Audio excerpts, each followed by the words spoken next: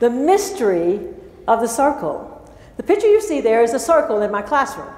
And my students prepared this presentation. And this is what they said about the circle it brings us together. It's the center of our home. It's the place where an amazing group of people come together to do great things. Now, this amazing group of people is a community. The first thing we learned is the needs of the many outweigh the needs of the few. It's not good that one gets it. All 48 have to get it. Now you're going to say to me, I don't have room for a circle, lady. What are you talking about? Well, I'm asking you, do you want control or do you want to see learning flow? You decide. If it flows, then you're going to find your children saying, the investigations that we do around that circle, and we do five of them three times a week, are the things that help us get stronger. Okay? That's the children's names. Thomas, Lauren, and Ishan and Kaylin. But they know they're good. Sometimes they get a little cocky about it. But every person in that classroom believes in themselves, believes in their peers, and believes in me, the facilitator. Now, they say I have access to everybody in the circle, and I do. Oftentimes I'm walking around that circle. Sometimes I sit in the middle. It doesn't matter because I see everything that's going on. They think I'm special. I really am. Now, they make connections. Right here, you see a picture of us on our Friday uh, Tiger Exchange where we buy things and sell things. There's no need for an individual class on decimals. It's there. Now, around that circle, the students understand what they're doing they know why they're doing it. It's not just me. They don't, they're not just the recipients of it. They know why this makes them a better math student. And they love it. They get involved in it. They don't mind helping one another. Once you finish, you know what your job is? Find somebody else and help them. Find someone else and share.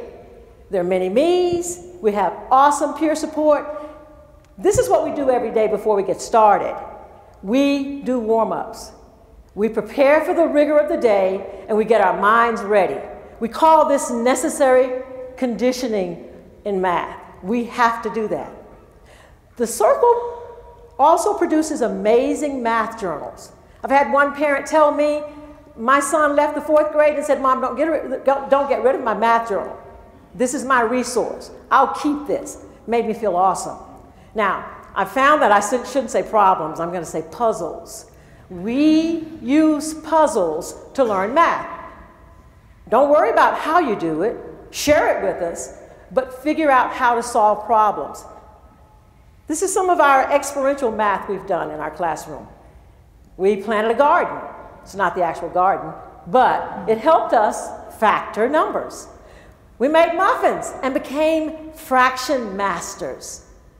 Now, I say let them talk around the circle. We got a country of adults who can't even disagree. So in my classroom, discussion is absolutely necessary. And it's a joy to watch them disagree and respect one another. This is some of the uh, communication that goes around in the classroom. Don't think like a 60 year old. They tell each other that. How would a fourth grade, how would a fourth grader explain this? That's one way, but Miss Drew, this is how I did it. In that classroom, around that circle, Math is spoken, math is lived.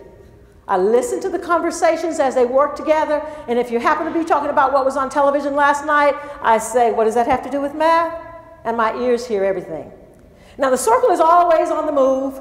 The pace is brisk. We go fast, but we make sure we don't leave anybody behind because we are a community and we make sure everybody gets it. Questioning is what we do. I tell them, leave your ego at the door, pick your thinking cap up, and come on in. You reserve the right to be questioned, you reserve the right to question, and including me. If they come up with a good one, I'll even pay for it usually. Have the courage to give up power in order to empower. In that circle, my students have choice. They show their creativity and they grow. Now, I'm not telling you to have a circle. I'm just telling you to think out of the box. You can consider it or not, but every child deserves an awesome math experience. Thank you.